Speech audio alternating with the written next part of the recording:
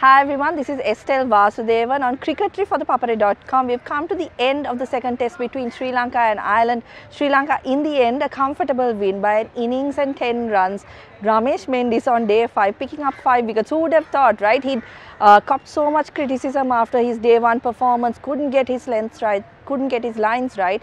He comes back, picks up a 5 wicket haul in this innings and closes out the game for Sri Lanka. An innings and 10, uh, 10 run win for them in the end. Match ended just before tea, so an early uh, end for everyone involved. It was a good performance by Sri Lanka. Of course, the pitch also breaking up a little, giving a little bit more assistance than what we saw in the first couple of days. So that assisted the spinners. But I think the man of the day was Asitha Fernando. He bowled a fiery spell, seven overs, I think 14 runs, two maidens and one wicket to start off the day. It really set the tone for Sri Lanka, provided that real attacking mindset that they needed to start off the day. He hit Andy Balbirnie, the Irish skipper, on the head he had to go off the field. He has, of course, suffered a concussion earlier this year. So, as, as a precaution, he was taken off the field.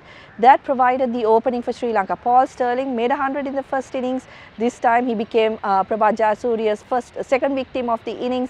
Jayasuriya thereby becoming the fastest spinner to reach that 50 wicket mark. He did it in 7 test matches and 13 innings.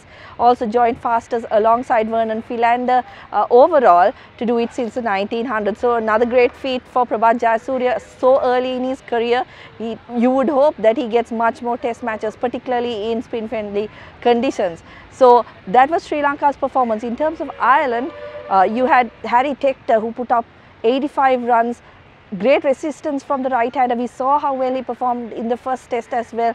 Much of the same here lost a bit of concentration when he was on 85, tried to go for an expansive drive. Wonder if it had something to do with the fact that Dimuth Karunaratne had a small word with him just before that delivery because he pulled out of one delivery that uh, Asitha Fernando was about to bowl. Nevertheless, it changed kind of the complexion of uh, his innings. He was dismissed the next ball and Ben White didn't last long.